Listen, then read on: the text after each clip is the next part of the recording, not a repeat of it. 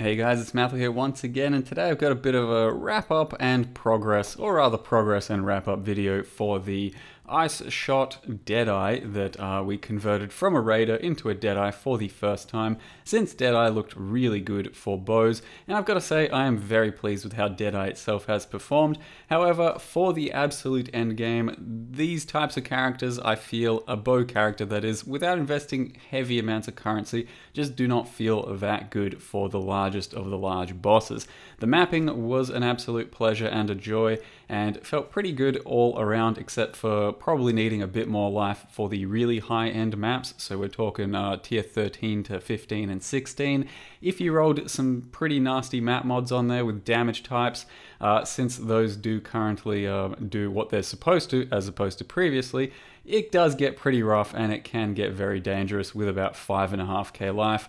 Uh, Closer to 6k is what you really should be aiming for, and my choice to go Rat's Nest was fine, but I think when you're really trying to push those endgame maps, if you're going to start doing high red tiers and all of that, then probably a Starkonja is going to be the way to go, and much closer to 6k life, which should make your living a lot more reliable. There are lots of positive things to say about the bow playstyle right now, especially as a Deadeye, and the chain ascendancy is one that I started to play around with more instead of uh, the plus arrow or additional proj, endless munitions, and it felt really good. So the damage is pretty damn stupendous in the end with a Chin Sol, and that was a 50% Monster Life Hydra. The problem is you don't really have too much reliable defense uh, being an up close and personal sort of bow character that has five and a half thousand life, something like that, without instant leech. It does fall just a little bit short unless you completely obliterate everything you attack, which is where much more gear and more damage comes into play.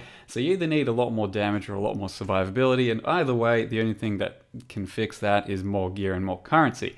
So something like the Champion Blade Flurry, however, is so much better for endgame while feeling just a bit worse for mapping. So this one really excels in the lower um, whiter to yellow and even early red tier maps the mapping feels amazing and it's very quick but once you start getting into these end game boss fights without the appropriate level of gear you're going to be dying just a few times every now and again which isn't a huge problem I could still get away with doing a full set of guardians with a few nasty map mods here or there uh, with a couple of deaths, as you saw one on Minotaur, one on Phoenix here, and I think I died once on Shaper as well. So it's not ideal, but it is still very doable. It is still great damage, and you can still have a very nice soft core playstyle here.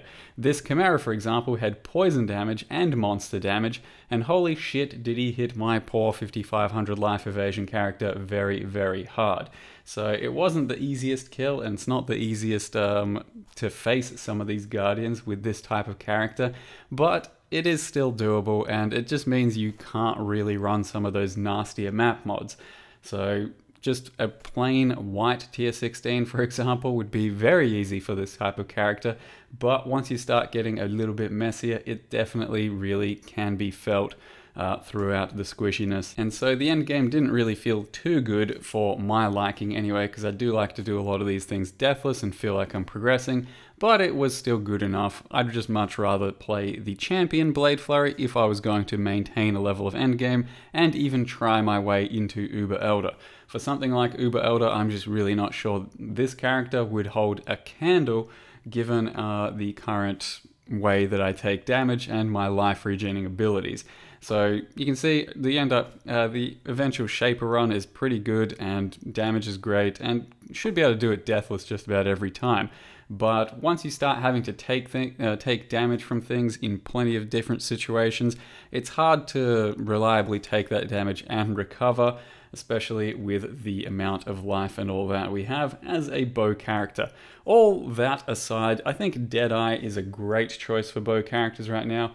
The Chain Ascendancy is probably the way to go, even though it's a little less on single target, it definitely makes Clear feel much, much better. So when I originally said Chain isn't something I thought I needed because Clear wasn't an issue, uh, I kind of have to take that back. I do think the chain ascendancy just makes things a lot smoother because it does increase your clear by something like 50%, I'm going to have to say, and that's just too much to give up. So I do want to go over the character for you guys in case you're uh, building something similar and show you what I've done. So I'm still pretty pretty comfortable recommending the character as a uh, strong bow character. It doesn't take too much gear to actually start working.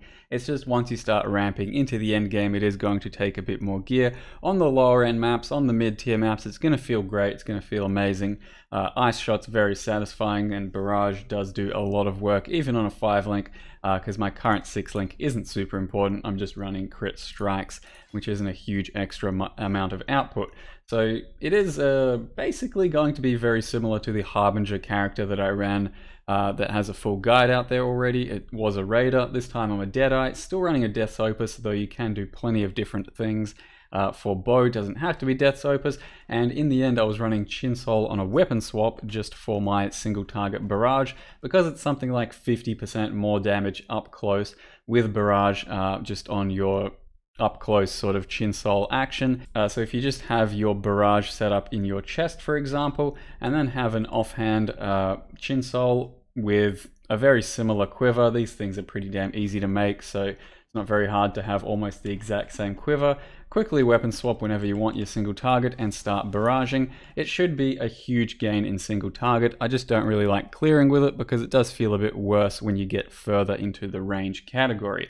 But uh, otherwise, yeah, I'll go over the character for you guys real quick. It is very similar to the previous one, but there are probably a few things I need to mention.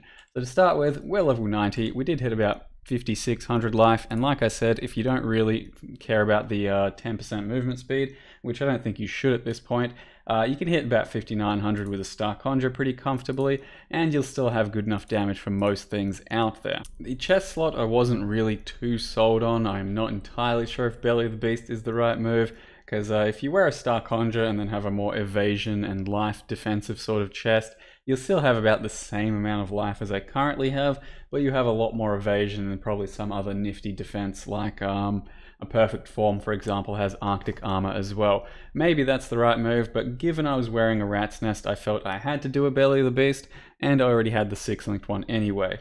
So it is kind of hard to squeeze out all the life you possibly can on a tree like this. Tried to get life just about everywhere I could, and that wasn't too much of a problem, but then getting the resists as well is also fairly tough. And uh, the only other real item I felt was somewhat of a no-brainer is Tombfist.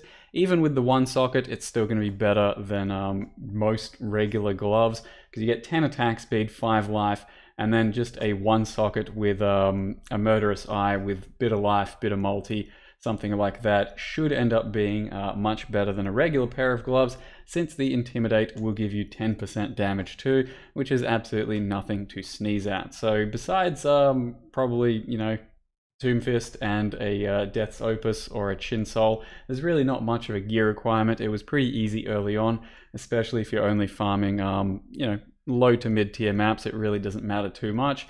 Uh, a Wise Oak is nice to have just for the uh, extra pen, but by no means necessary. And then your flasks are pretty easy going other than that too.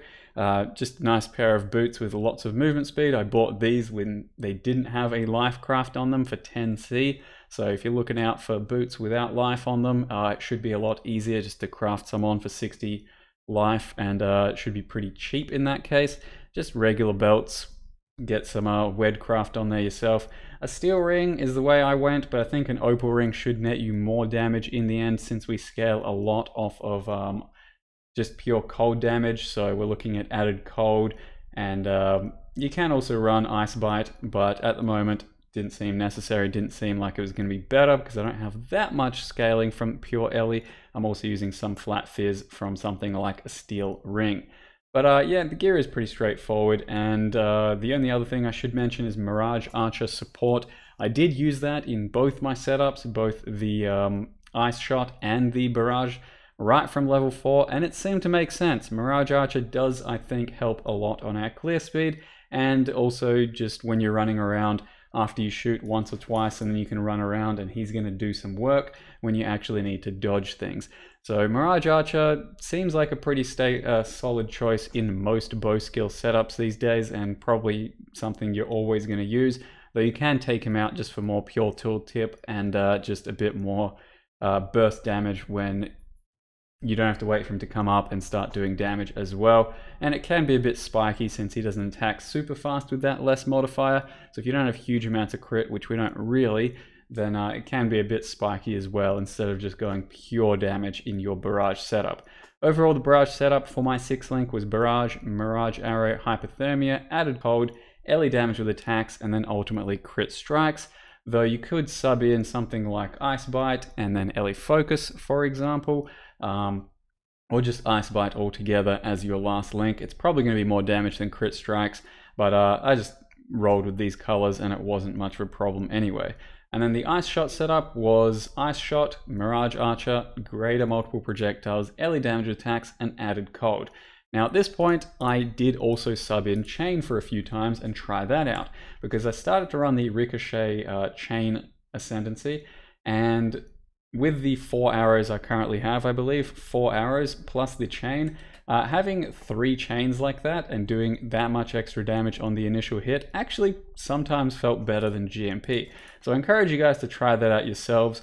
But uh, if you don't like the Ricochet Ascendancy at all, then definitely just run Chain in your setup instead of added Cold, uh, which is how I played up until about level 85. I then went into Ricochet just to try out um, chain itself and it does feel really nice especially for your barrage when you're single targeting certain monsters. It splits off and does more single target damage to other things around you giving you a slightly safer buffer for doing your single target damage because otherwise barrage is very centered and doesn't feel too good at some times. So I did initially grab Endless Munitions and it is more single target damage, but this is actually still pretty competitive and I think more of a quality of life for our character so probably worth using. It is still 10% more damage on the single target, but this one should end up being more like a 15% increase, maybe even 20 if you don't have that many additional projectiles at the time. So there's really not much else to mention. Um, the character has been gone over, I think, in enough detail in previous videos. That should more or less take care of it, uh, as well as my recent choices for certain things. It was fun to play. I definitely do recommend playing a bow character, if not this one, Deadeye Bow something, uh, in the future, because it is quite satisfying to play Deadeye right now, and bows themselves, I think, are in a very good place. Uh, for now though guys, hope you enjoyed the video and the wrap up. Thank you very much for watching. I hope your characters are going just as well, and I'll see you next time.